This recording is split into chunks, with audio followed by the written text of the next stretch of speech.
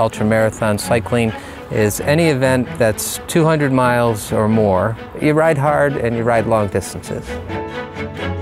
Riding together, it is realistically uncomfortable, but misery loves company.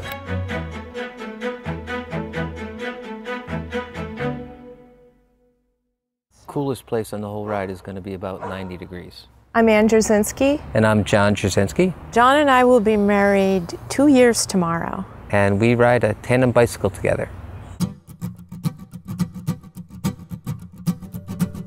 Say when. Ready. Okay. One, two, one. Tandem bicycle is a bicycle built for two. There are two positions on a tandem bicycle. Captain is in the front, steering and braking. Uh, the stoker is in the back, fueling the engine.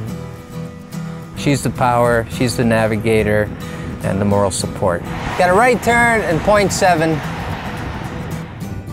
I tend to be a little better at the beginning and end of a ride, and Ann gets me through my doldrums in the middle. John is really strong on the flats and the downhills, and I tend to like uphills and get excited by uphills.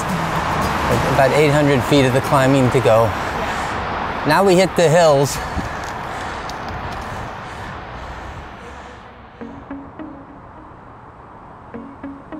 We have ups and downs with one another on the bike because we're both pretty intense. After you know being in the saddle for 12 plus hours, you get a little cranky, um, and so it's amazing we don't argue more than we do.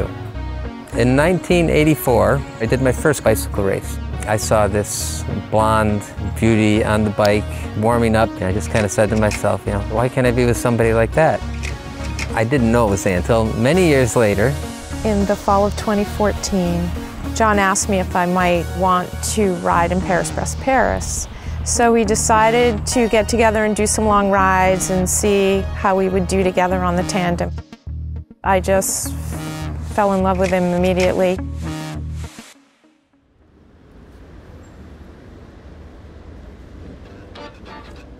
The event we're training for is Paris Brest Paris and that's 750 miles. I think we're about as ready as we can be. Now we just need a little luck on our side. We hope to do it without sleeping. Last time we did it, we did it in uh, just under 52 hours. This time we hope to do better than that. The start is a little nerve-wracking. If somebody bumps you the wrong way, uh, damages your bike, it could be over. Working together, keep motivating each other. It's gonna be fun.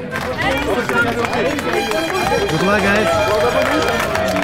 Our wave goes off at 5.15 p.m. We'll ride through that night, through the next day, through the next night, and then hopefully finish uh, before darkness the next day.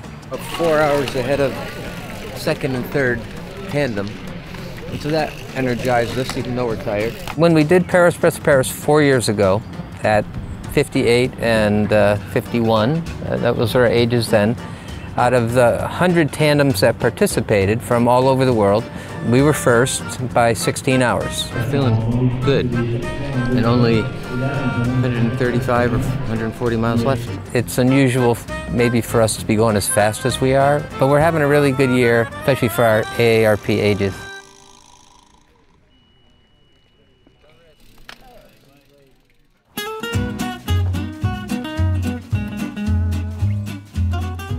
We live in the Honda Element with a tent attached.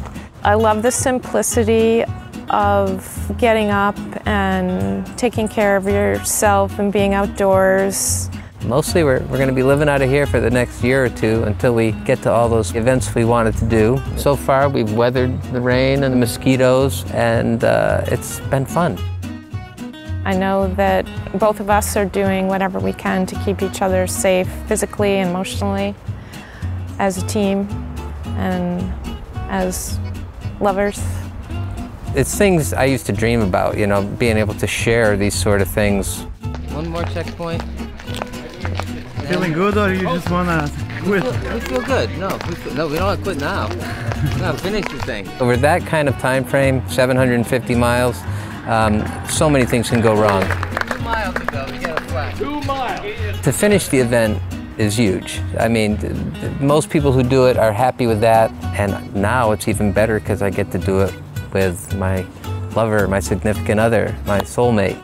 You know, I love physical activity and I love the outdoors, and, and so does Ann. It's so much better going through life um, sharing these things.